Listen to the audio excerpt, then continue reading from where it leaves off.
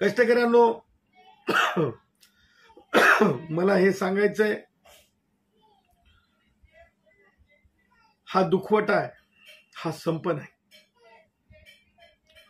दुखवटा आणि संप ज्याला कळत नाही दुखवटा आणि संपामधला फरक ज्यांना कळत नाही दुखवटा आणि संप ह्याच्यातली अंतर कळत नाही ते लोक आज मंत्री आहेत.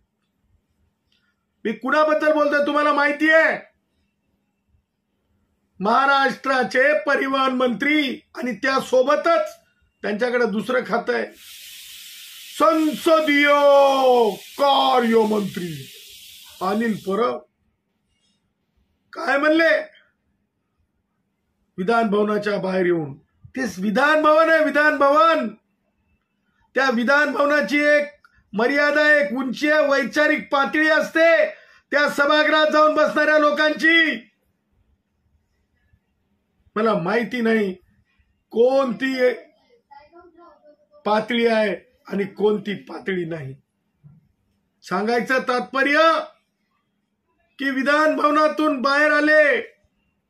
काय पराक्रम करून आले? बघा काय पराक्रम करून आले? मला वाटत नाही काय पराक्रम होता. मी तर म्हणेल. निगा म्हणजे त्याला म्हणतात ना आपण एक उदाहरण आहे की विधान भवनातला पराक्रम हा होता की सत्त्याण्णव मृत्यू कष्टकऱ्यांचे झाल्यानंतर तीनशे पन्नास कोविडमध्ये योद्धा म्हणून लढलेले एस टी महामंडळातील योद्ध्यांचा झाल्याच्यानंतर किती वेळ किती वेळ दिला ठराव मांडण्यासाठी? तर अडतीस सेकंद. मुख्यमंत्री उद्धव!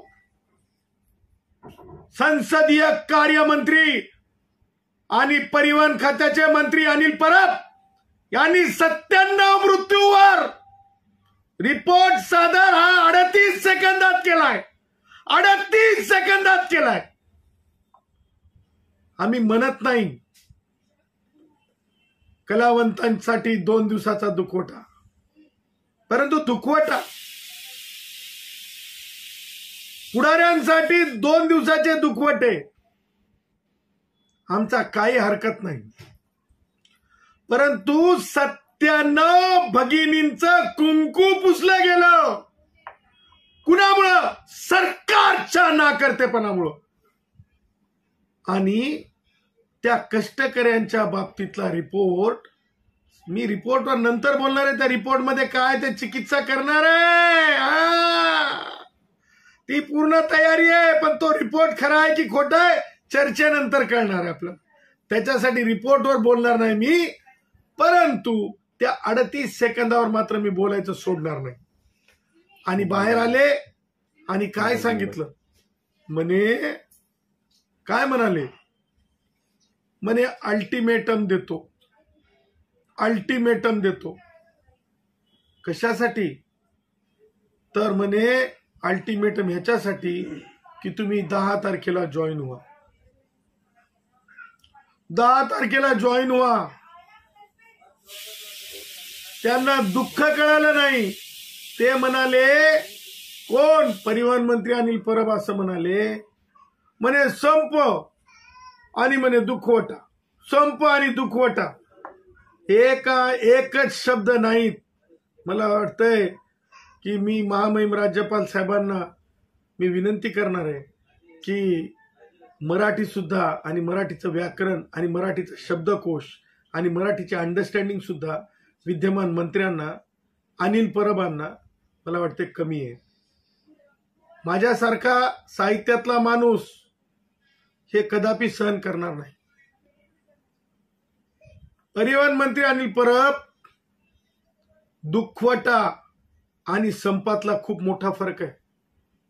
दुखवटा आणि संपातला खूप मोठा फरक आहे. जर तुम्हाला एवढं साधं कळत नसेल तर ही कोणत्या कोणती पातळी आहे तुमची समजदारीची मला कळत नाही. परंतु मला हे समजत नाही की जे टीकाकार आमच्यावर टीका करतात कष्टकऱ्यांचं आम्ही प्रतिनिधित्व करतो म्हणून कोर्टामध्ये ते टीकाकारांना हे समजलं नाही का? की काय? दुखवटा आणि संप एक असू शकत नाही. आणि मला असं वाटतंय की सभागृहामध्ये परिवहन मंत्री अनिल परबांनी जे अडतीस सेकंद घेतले त्याच्यामध्ये त्यांच्याकडे कोणतंच सिरियसनेस नव्हतं. त्यांनी सत्त्याण्णव लोकांनी वीरमरण पत्कारलं आणि त्या वीरमरणासोबत मी हे रिपोर्ट सादर करत आहे अशी म्हणण्याचं धारिष्ट सुद्धा त्यांच्यात नव्हतं. बिलकुल मला हिंमत दिसली नाही. लोकशाहीमध्ये जे दिसतंय ते बोलण्याचा मला अधिकार आहे. डंक्याची चोट पे बोलण्याचा अधिकार आहे. कष्टकऱ्याच्या प्रती जर भावना नसतील तर त्याही पुढे जाऊन मला बोलण्याचा अधिकार आहे. मला तर असं वाटत होतं ज्यावेळेस त्यांनी ठराव ठेवला म्हणजे हे आपला रिपोर्ट ठेवला त्यावेळेस मला असं वाटत होतं आणि ज्यावेळेस ते सांगत होते सभागृहामध्ये विधानसभेमध्ये त्यावेळेस मला असं वाटलं की एक लक्षात ठेवा नवीन गावामध्ये माणूस नवीन येतो. एक मा म्हणजे एखादा माणूस नवीन गावात जातो आणि त्यावेळेस संध्याकाळी रात्री जर रात्रीचा जर अंधार असेल जसं श्वान मागे लागलं की श्वान मागे लागलं की माणूस ते नवीन गावात गेलेला माणूस तो पळत राहतो. त्या प्रकारे मला समजलं नाही की कोण मागे लागलं होतं ज्याच्यामुळे परिवहन मंत्री अनिल परबांना इथं अरे आमच्या लोकलमध्ये सुद्धा लोक अशा प्रकारे लोकल ट्रेन पकडायला पळत नाहीत. त्यातले त्या सत्त्याण्णव मृत्यूच्या बाबतीमध्ये.